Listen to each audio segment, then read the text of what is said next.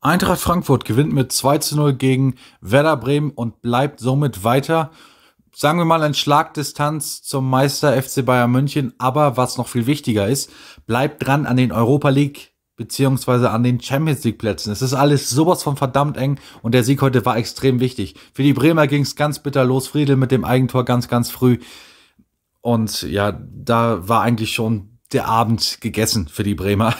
Ähm, so in ein Spiel reinzustarten ist ganz, ganz schlecht. Und ja, das war dann auch noch der Pausenstand, was noch bitterer ist. Es war dann Kolomani, der das 2 zu 0 gemacht hat. Und der Junge, der ist einfach sowas von top. Also ich gönne es Frankfurt von Herzen, wenn die den noch über Jahre halten können. Ich befürchte aber leider, dass er irgendwann in der Premier League versacken wird oder irgendwo anders.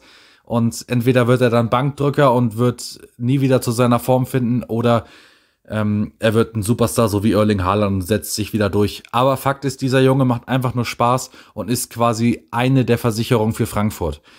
Und es ist ein verdienter Sieg gewesen, keine Frage, aber bei Frankfurt ist auf jeden Fall noch Luft nach oben und ich gönne es den Jungs von Herzen, dass die mindestens nächstes Jahr Europa League spielen. Die haben so geile Fans, die haben eine geile Mannschaft und die haben es einfach verdient, international sich präsentieren zu dürfen.